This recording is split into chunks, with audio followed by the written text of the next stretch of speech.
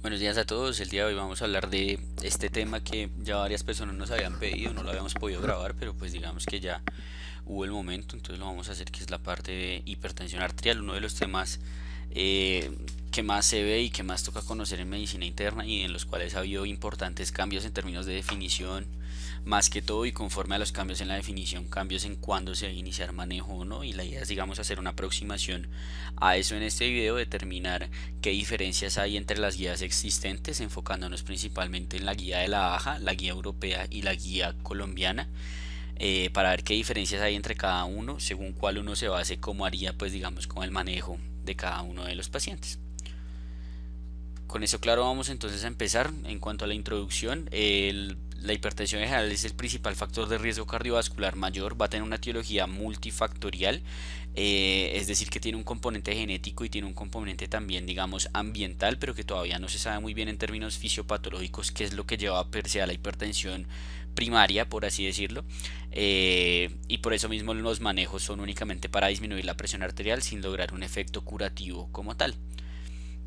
ha habido, como habíamos mencionado, múltiples cambios en las definiciones y esos cambios a nivel epidemiológico han visto o han generado una repercusión a nivel de la prevalencia y la incidencia que hay como tal de la hipertensión a nivel mundial. De hecho, esta nueva definición que creó la baja a nivel de Estados Unidos generó que el de la población hipertensa pasara a ser del 32 al 46% de la totalidad de la población norteamericana, lo cual es una gran cantidad de personas, son 31 millones de nuevas personas hipertensas.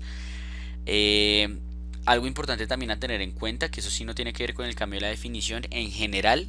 menos del 50% de los pacientes hipertensos están en metas. Si uno se va a países subdesarrollados, países de tercer mundo, se dice que menos del 10% de los pacientes están en metas. Y como vamos a ver, la hipertensión genera una gran repercusión a nivel de múltiples órganos en el sistema y que por ende es importante manejarla, es importante tener a los pacientes en metas porque esta es la forma mediante la cual podemos evitar precisamente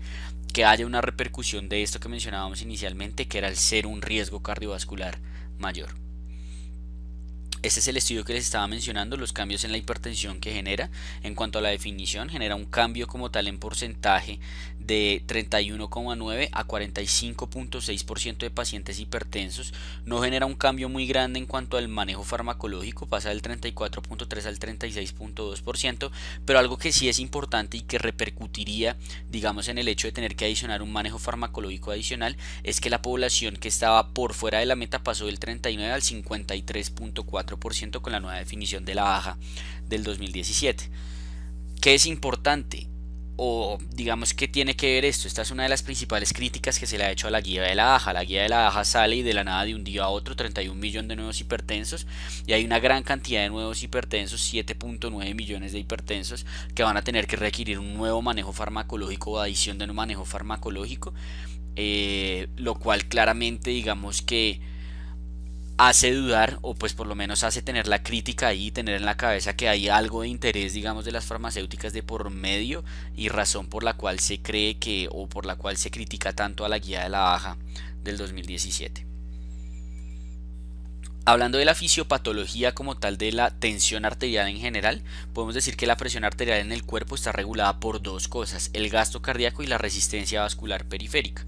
La resistencia vascular periférica está, digamos, más que todo determinada, como su nombre lo dice, por la resistencia que hay en las arteriolas y en los vasos sanguíneos periféricos, y el gasto cardíaco por su parte está determinado por dos elementos, la frecuencia cardíaca y el volumen de eyección. La frecuencia cardíaca va a depender más que todo de estímulos del sistema nervioso parasimpático, si está predominando el simpático o el parasimpático, de eso dependería. Eh, y por su parte el volumen de eyección va a depender de tres elementos, la precarga, la contractilidad y la poscarga. En cuanto a la precarga, el principal determinante de la precarga va a ser el llenado ventricular. Si recuerdan, la precarga son todas aquellas fuerzas que favorecen la eyección de sangre del ventrículo. Entonces, el llenado ventricular, al generar una mayor distensión del ventrículo, de acuerdo a las leyes de Frank Starling, pues va a generar una mayor contractilidad y por ende va a favorecer, digamos, la eyección ventricular. La contractilidad por su parte digamos que va a estar regulada fisiológicamente también por el sistema nervioso autónomo, igual que la frecuencia cardíaca y por las leyes de Frank Starling que estábamos mencionando previamente. Y la poscarga por su parte van a ser todas aquellas fuerzas que se oponen a la eyección ventricular. Y en la poscarga el principal determinante de la poscarga va a ser precisamente esta resistencia vascular periférica que tiene que vencer el ventrículo para poder generar la eyección ventricular. Eh, cuando hablamos de la regulación como tal de la presión arterial o qué va, digamos, va a regular estos elementos que estábamos hablando, podemos hablar de regulación inmediata y elementos que actúan sobre una regulación más tardía. En cuanto a la regulación inmediata, tenemos en general el sistema nervioso autónomo que está regulado en términos de presión arterial más que todo por el reflejo varoreceptor. El reflejo varoreceptor es que cuando la presión, digamos, aumenta en el vaso sanguíneo y hay una mayor distensión del vaso sanguíneo, los varoreceptores se activan, lo que hacen es enviar un estímulo al sistema nervioso central y por ende lo que hacen es aumentar la secreción o aumentar la actividad, por así decirlo, del sistema nervioso parasimpático, por ende la secreción de catecol de acetilcolina y eso finalmente a lleva a que en los receptores muscarínicos haya una disminución de la frecuencia cardíaca, de la contractilidad, etcétera, etcétera, y todo eso, digamos, favorecería una disminución en la presión arterial. Por ende, el reflejo varoreceptor va a ser un regulador inmediato cuando uno tiene un paciente que tiene un aumento en la presión arterial. Si los varoreceptores no se están activando, lo que sucede es que no hay una activación del sistema nervioso parasimpático y por ende va a predominar como tal pues el sistema nervioso simpático y las catecolaminas. Por su parte, la regulación tardía está determinada por el eje renina-angiotensina-aldosterona, digamos que la angiotensina actuando como un vasoconstrictor y la aldosterona actuando como un recaptador de sodio y de agua para aumentar la volemia. Entonces, así como acá el reflejo baroreceptor respondía ante la hipertensión, el eje renina-angiotensina-aldosterona responde ante la hipotensión. Y esa respuesta ante la hipotensión lo que va a generar es precisamente eso, la activación del eje, la vasoconstricción por la angiotensina y la recaptación y el aumento de la volemia por la aldosterona. Los péptidos natriuréticos también van a tener un papel aquí, digamos que los péptidos natriuréticos actuarían a la contraparte del eje renina aldosterona, es decir, cuando hay un aumento en la volemia, un aumento en la distensión de las cámaras cardíacas, se genera el péptido natriurético para generar la natriuresis y por ende tratar de disminuir la volemia. La hormona antidiurética la podríamos considerar como un elemento de la regulación tardía, pero realmente no tiene mucho que ver. Como ustedes saben, la hormona antidiurética lo que hace es recaptar únicamente agua libre, no agua con eh, solutos, y por ende esa agua muy probablemente se termine yendo a tercer espacio o a un espacio que es extravascular. Por eso mismo digamos que el CH y la mal secreción de la hormona antidiurética no hace parte de las causas de, de mm, hipertensión arterial secundaria y es algo que pues toca tener en cuenta. Este quizás es el resumen en parte de lo que hemos estado hablando. Una gran cantidad de órganos que hacen parte o que involucran o que tienen que ver con la regulación de la presión arterial, el riñón con el eje renina aldosterona, los péptidos natriuréticos a nivel del corazón, el mismo endotelio con la sustancia, digamos, vasodilatadoras como lo es el óxido nítrico, eh,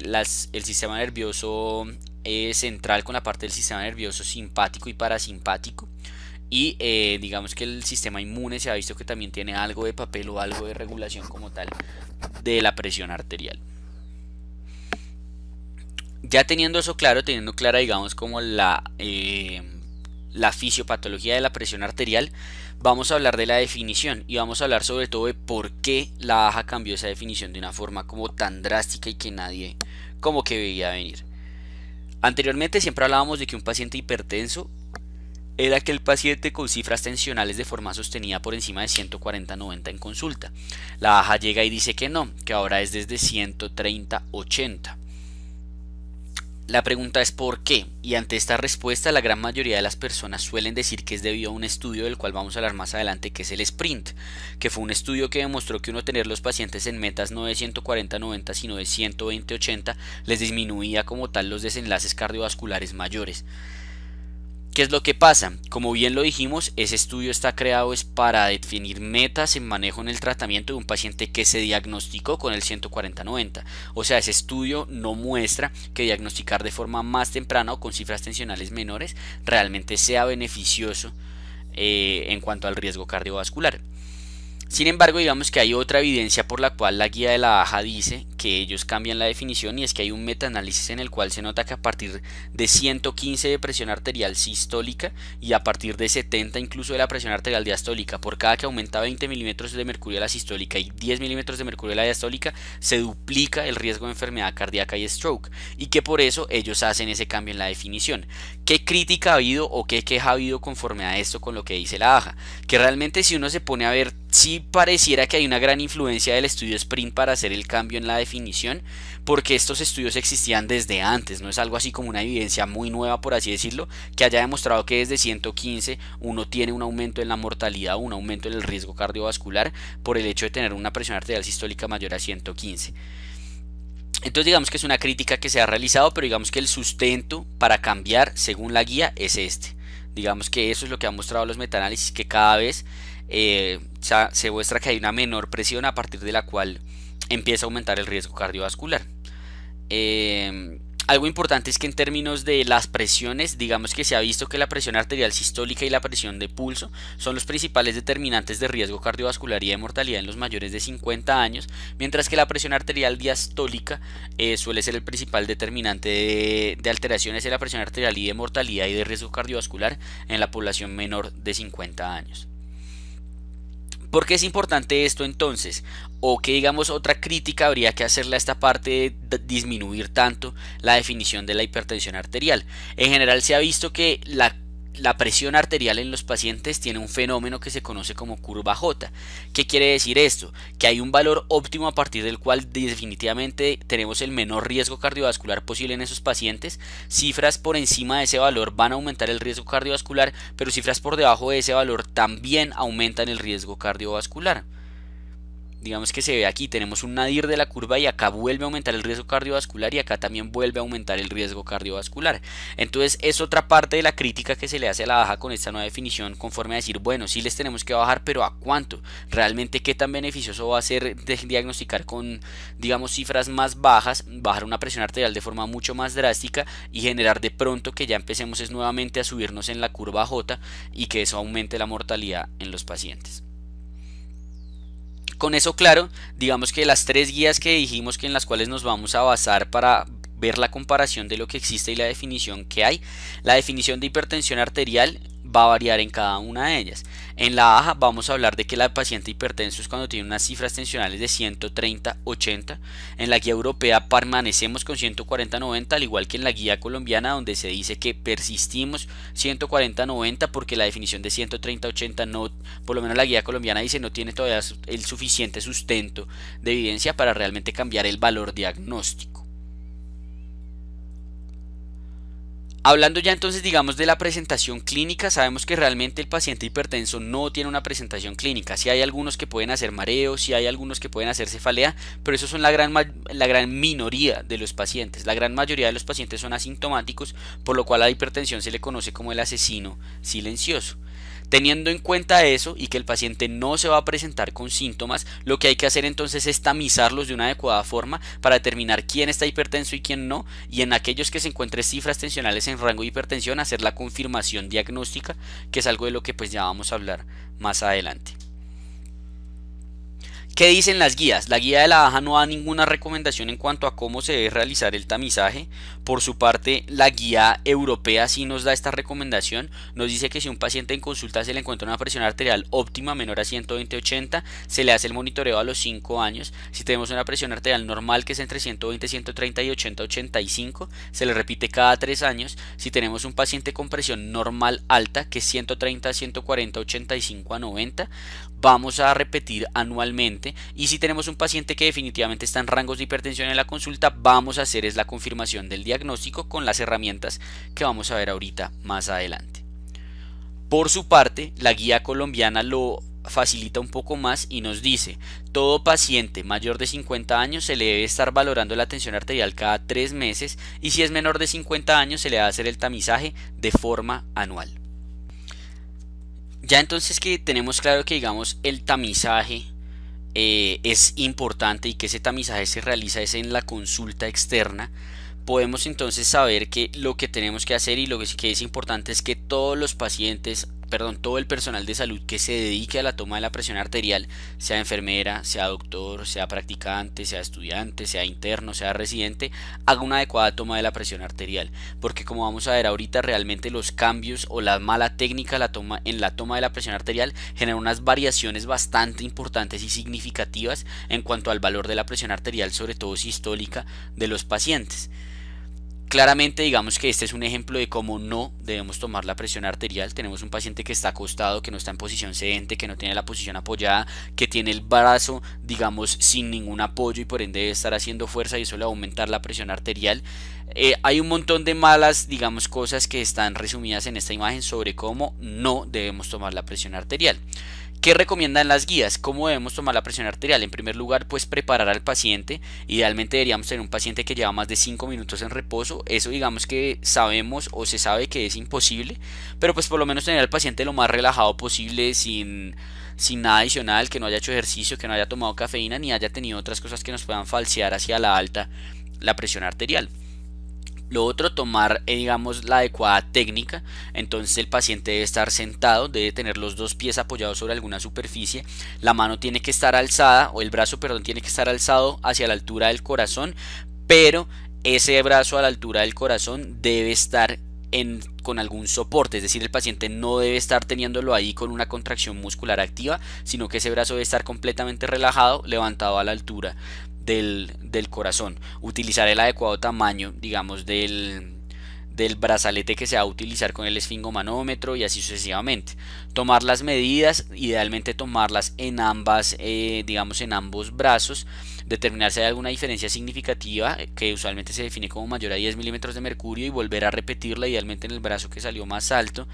y así sucesivamente. Digamos que el punto es tener un paciente en condiciones óptimas, descansado, con los pies sedentes y no tener condiciones que me vayan a falsear a la alta la presión arterial y ahí ya depende del médico hacer una adecuada técnica con un adecuado con los instrumentos adecuados para la toma de la presión arterial. Eh, cosas importantes que les mencionaba, el hecho de tener una mala posición puede elevar hasta 12 milímetros de mercurio la presión arterial sistólica. El simple hecho de que el paciente esté hablando mientras él toma la presión arterial puede elevar de 8 a 15 milímetros de mercurio la presión arterial sistólica. Tener la pierna cruzada, tener el brazo levantado, tener las piernas flotando, no estar apoyado, todas esas cosas digamos que elevan eh, significativamente la presión arterial y nos pueden dar pues un paciente con un falso diagnóstico o por lo menos con una falsa sospecha de, lo que sería, digamos, la, la hipertensión arterial. Una vez entonces en el tamizaje encontramos un paciente en consulta que está hipertenso, pues lo que tenemos que hacer es la confirmación diagnóstica. Para confirmar el diagnóstico tenemos tres posibilidades. El mapa, el AMPA y la consulta. El mapa es el monitoreo ambulatorio de la presión arterial, que esto es automatizado, es decir, con el famoso Holter. El AMPA es el automonitoreo de la presión arterial, o sea que el paciente se va a tomar por su cuenta o alguien en su casa le va a ayudar a tomarse la presión arterial y en consulta que va a hacer que el paciente venga en control y ver si persiste o no persiste hipertenso. En cuanto al mapa, eh, digamos que el mapa va a valorar 24 horas una toma de la presión arterial, va a tomar cada 20 minutos en el día, cada 30 minutos en la noche y nos va a sacar un promedio de las 24 horas del día y de la noche. El automonitoreo sería entonces lo que hemos mencionado que el paciente o alguien que viva con el paciente le va a tomar la presión arterial de forma continua. Lo que se busca es que sea más o menos unos 7 días de medida, 7 a 11 días donde se tomen en la mañana, la tarde y en la noche y que se tenga por lo menos unas 11 a 14 medidas para poder hacer un promedio. Las medidas del primer día se suelen descartar y lo que se hace es sacar el promedio en 24 horas de presión arterial que maneja el paciente. Y en cuanto a la consulta, digamos que es el menos recomendable, pero pues en muchas ocasiones toca hacerlo por la falta de disponibilidad o de recursos para la realización del mapa o del AMPA. En la consulta lo que se busca es que sean tres visitas separadas por lo menos por una semana en las cuales el paciente persista con cifras tensionales en rango hipertensivo. La pregunta entonces es cuál valorar o cuál, digamos, eh, cuál utilizar y cuál no utilizar entre estos, o cuál sería ideal entre el mapa y el AMPA. En términos de diagnóstico de la presión arterial, digamos que podríamos decir que la, eh, el uso o la utilidad es similar entre los dos, es decir, los dos me van a ser útiles y van a ser más eh, sensibles y específicos que la consulta para eh, la toma de la presión arterial y para diagnosticar la hipertensión arterial. Lo que cambia es esto. El mapa me valora la presión arterial durante la noche en el sueño, mientras que el AMPA no me permite realizar eso. Entonces la verdadera ventaja que tiene el mapa sobre el AMPA es que permite valorar la hipertensión arterial en el sueño, porque fisiológicamente todos nosotros tenemos un fenómeno que se llama el dipping. El dipping es que mientras dormimos debe disminuir más de 15% de la presión arterial en nuestro cuerpo y eso digamos que es fisiológico. Cuando uno no tiene un dipping, que es entre 15 y 10% en riesgo, menor a 10% definitivamente tiene dipping, es un paciente que tiene un mayor riesgo cardiovascular en general, claramente se relaciona mucho con el SAOS, pero tiene un mayor riesgo cardiovascular en general el simple hecho de no hacer dipping. Entonces el mapa me va a permitir valorar este fenómeno en esos pacientes, sea que yo les estoy confirmando el diagnóstico o si les quiero hacer un seguimiento de su presión arterial una vez ya se encuentren en manejo antihipertensivo. Hay ciertas ocasiones o condiciones en las cuales no es necesario realizar confirmación diagnóstica. Esto es cuando tenemos una presión arterial sistólica mayor a 180 o diastólica mayor a 120, que como vamos a ver más adelante es lo que se conoce como crisis hipertensiva cuando tenemos una presión arterial sistólica mayor a 160 o mayor a 100 con daño de órgano diana que sea por la hipertensión, también no sería necesario hacer la confirmación diagnóstica y se podría iniciar el manejo de forma inmediata.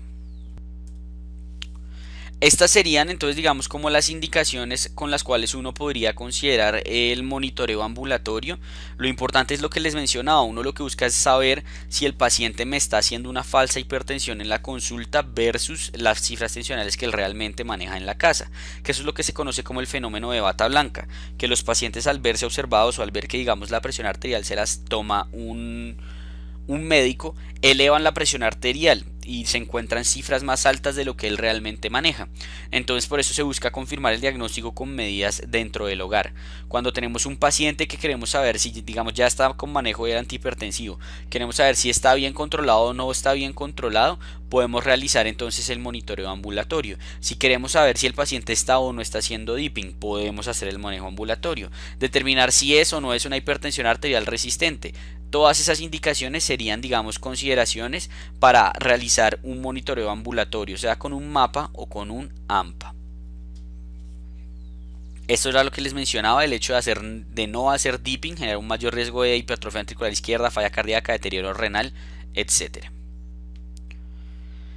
Esta medición ambulatoria entonces, como estamos diciendo que el paciente en consulta normalmente va a tener un valor más alto por el fenómeno de bata blanca, los valores diagnósticos de la presión arterial, con esa digamos definición que mencionamos al inicio de 130-80 AJA, 140-90 Europa y Colombia, van a variar cuando uno hace el diagnóstico con el monitoreo ambulatorio. Con el monitoreo ambulatorio, para términos digamos de lo que sería la guía europea, el valor diagnóstico cuando se hace un AMPA, que es este HBPM, cuando se hace el automonitoreo, eh, sería 135.85. Por su parte, cuando se hace el monitoreo ambulatorio o el mapa, en el día sería un valor de 135.85, en la noche un valor de 120.70 y en 24 horas un valor de 130.80 y con eso digamos que confirmaríamos hipertensión en el paciente eh, según la guía europea. Por el contrario, si nos vamos con la cifra diagnóstica de la AJA, que es 130-80, hablaríamos de un AMPA de 130-80, un mapa en el día de 130-80, un mapa en la noche de 110-65 y un mapa en 24 horas de 125-75. Hay algo importante de lo cual se debe hablar y que cada vez se hace más énfasis por lo menos en lo que es la guía de la AJA del 2017, que son los fenotipos de presión arterial. Tenemos un paciente que puede ser hipertenso solo en la consulta pero no en la casa. Tenemos un paciente que puede no ser hipertenso en la consulta pero sí estar hipertenso en la casa. Y eso es lo que le conocemos como hipertensión arterial enmascarada e hipertensión arterial de bata blanca. Hipertensión arterial de bata blanca el paciente que tiene hipertensión en la consulta pero en la casa está normal y enmascarada el paciente que tiene presión arterial normal en la consulta pero de forma ambulatoria está elevado. Algo importante a tener en cuenta es que estos fenotipos no solo se tienen en cuenta en los pacientes que no se han diagnosticado. Es decir, si yo tengo un paciente que está con un manejo antihipertensivo, viene a mi consulta de control y yo lo encuentro hipertenso, yo no puedo descartar o siempre tengo que tener en mi cabeza la posibilidad de que eso sea una hipertensión arterial de bata blanca, es decir, que el paciente realmente en su casa sí esté bien controlado con el manejo antihipertensivo que le tengo y que no es necesario hacerle un ajuste a la posología, ya que si digamos el paciente tiene una hipertensión arterial de bata blanca y se le hace un ajuste a la posología, en la casa lo que va a hacer es hipotensarse y la hipotensión tiene una mayor relación con mortalidad que la hipertensión.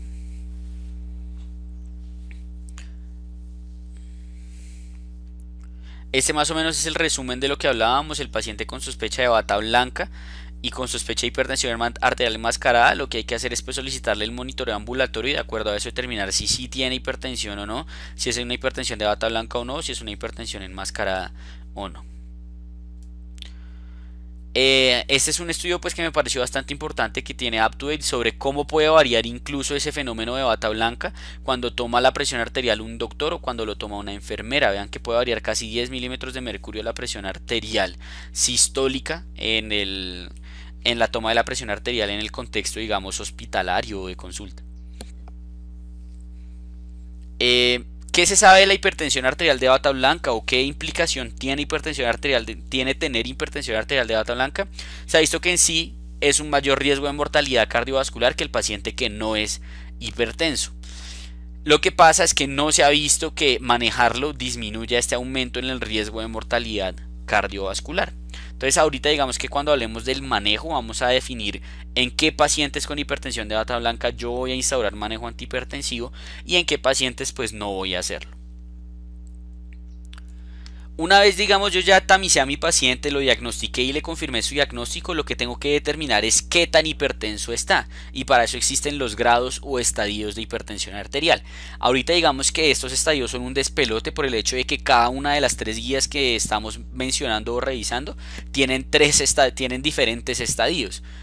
Si vamos al paciente de AJA 2017, podemos dividir los estadios en una presión arterial óptima menor a 120-80, normal con la sistólica entre 120, 130 y 80, perdón, elevada, con la sistólica entre 120 y 130 y la diastólica que persiste menor a 80, grado 1, que es 130-80 eh, hasta 140-90, y grado 2, que sería una cifra tensional mayor a 140-90, es decir, el hipertenso grado 2 era el que antes era hipertenso grado 1, según todas las guías que uno pudiera revisar.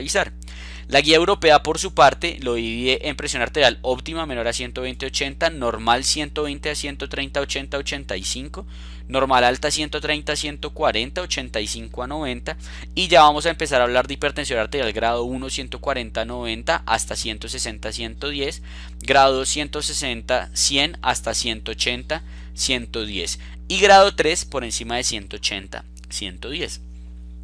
La guía colombiana va a ser muy afín a la guía europea, pero digamos que nos simplifica un, un, poco más el hecho de tener estas tres cifras antes de ser hipertenso que realmente no sé qué tanto influyan o qué tanto tengan que ver. Me imagino que para definiciones de estudios algo por el estilo, pero en la clínica usted diferenciar si es normal, normal, alta o óptima es lo mismo que decir que no es hipertenso. ¿Listo? Entonces es algo importante a tener en cuenta. La guía colombiana entonces nos va a hablar de un paciente normal menor a 120-80 en riesgo, que me parece una clasificación mucho más sensata, simplemente decir en riesgo lo que antes se conocía como prehipertensión. Grado 1, igualito a la guía europea, y grado 2 tal cual como la guía europea, y grado 3 igualito a la guía europea. ¿Listo? Entonces digamos que eso sería como los estadios o los grados que uno puede determinar de hipertensión arterial en los pacientes.